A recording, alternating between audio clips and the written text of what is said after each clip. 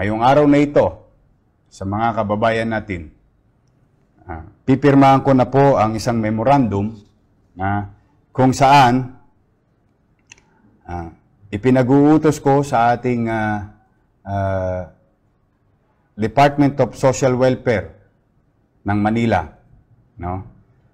Kay Director Rep Pugoso na palawigin ang pagkalap sa mga bata sa kalye sa lungsod ng Maynila simula ngayong gabi, araw-araw na ginawa ng Diyos. At inaatasan namin ang lahat ng punong barangay sa lungsod ng Maynila na ipatupad ang batas na curfew sa lungsod. Ito po ay Ordinance Number 8547, Series of 2018. Kung maalala po ninyo, ah, sa noong ah, isang ordinansa namin ay ah, nakakuha ho ng uh, inimbalido po ng Supreme Court yung luma naming curfew ordinance. Kaya po binanggit ko sa inyo ang particular na ordinance uh, series of 2018. No. Na lahat ng punong barangay, barangay official, PCP commander, station commanders ng Philippine National Police ay aatasan po natin ngayong hapon ha, na hulihin ang mga magulang at ipaliliwanag ko mamaya. Kunin at sagipin ang mga batang ito sa kalye sa lungsod ng Maynila. Kaya po sa mga magulang, guardians ng mga batang ito ng minor de edad ah, sa lungsod ng Maynila, Mamayang gabi po ay full blast ang curfew sa Maynila. At yung pangangalaga under the uh, under the existing law kung paano pangangalagaan ang mga batang ito ay susundin ng siyudad ng Maynila through our Manila Department of Social Welfare headed by Director Rep Pogoso. Pero meron po akong pinangako sa inyo that three weeks ago, no, sinabi ko, maghahanap tayo ng batas na kung saan ah, papapanagutin ko na ang mga magulang ng mga batang ito. Ito po ay ang batas na kung saan ha, pinipenalize ang mga magulang.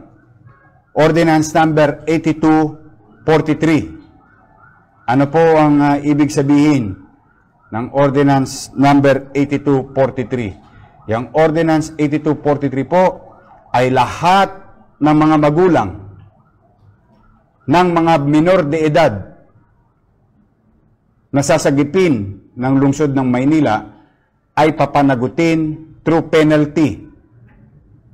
At ang penalty po niyan ay nandyan po sa inyong mga screen.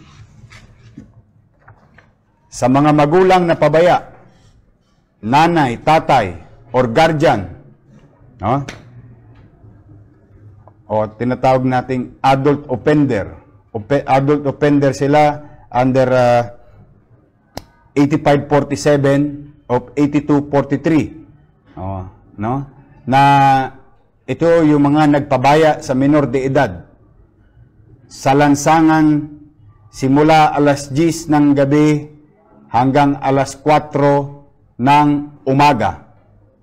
May curfew na po sa Maynila, kaya mga magulang, ito po ay ah, isang paalala sa inyo na papapanagutin na po kayo ng lungsod ng Maynila. Sa unang beses, sa unang pagkakataon, na may makuha kaming minor de edad na may edad na 15 years old to 17 years old, ang magulang ay pagbabayarin ng 2,000 piso. 2,000 pesos. At maaari pa ho kayong makulong ng isang buwan. At kung ang bata naman na makakalap namin at maililigtas namin sa kalit, sasagipin namin, ang magulang ay mananagot ng 3,000 pesos at tatlong buwan na pagkakakulong kapag ang edad ng bata na minor de edad ay 13 years old to 14 years old. At lahat ng 12 years old pababa na bata na aming masasagip sa kalye simula alas 10 ng gabi hanggang alas 4 ng umaga dahil sa curfew. Kayo po ay pagbabayarin mga nanay at tatay ng 5,000 piso at maaari kayong makulong ng anim na buwan. So sana po ay maliwanag sa ating lahat. Masyado na pong lumalala ang solben sa Maynila. Masyado na pong lumalala ang kapabayaan ng mga ilang magulang sa lungsod ng Maynila. Lahat kayo na minor de edad na nanonood, oh, kayo po ay bawal na sa kalye ng mag-isa, ng walang guardian o walang magulang na kasama simula alas 10 ng gabi hanggang alas 4 ng umaga. At ang magulang na mahuhuli namin bata o masasagip namin bata o maililigtas namin bata ay pagbabayarin ng penalty under 8243. Kaya po sana maging ah, maayos na paalala ito sa inyong lahat. Kayo na mga magulang, mas higit na dapat na mga ngalaga sa inyong mga anak. Dinala niyo po yan sa inyong sinapupunan ng siyam na buwan. Alam kong mahirap ang buhay.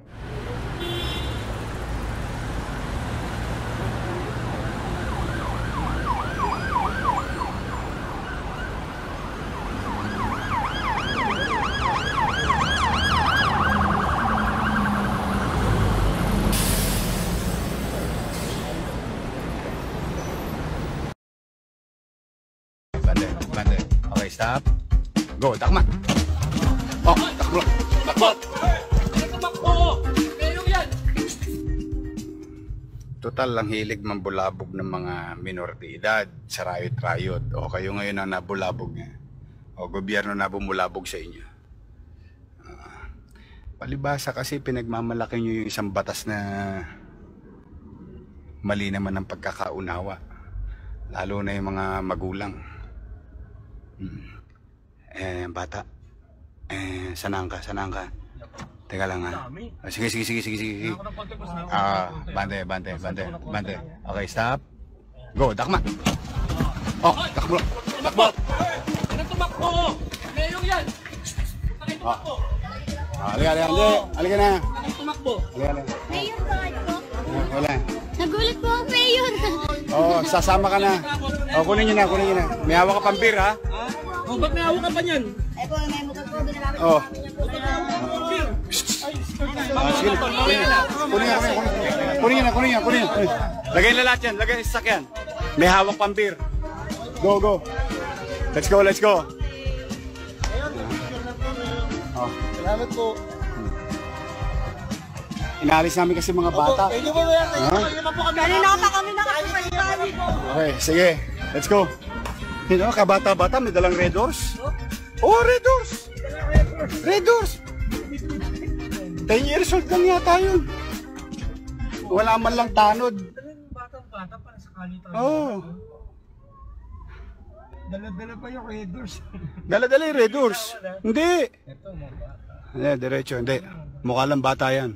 Kulang lang sa ano yan. Cool cuts yan, cool cuts. Kulang sa sukat. Oh, kulang. Kulang sa sukat. Ay, nako.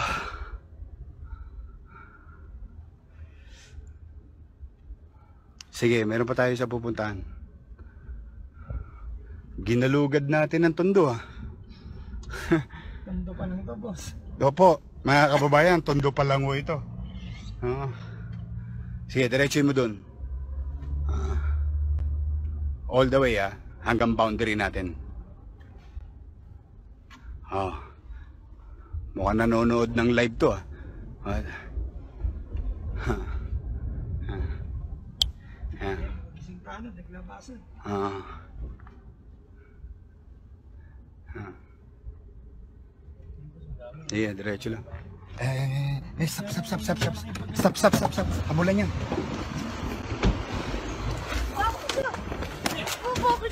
Dito, dito, dito. Bakit po, Mayor?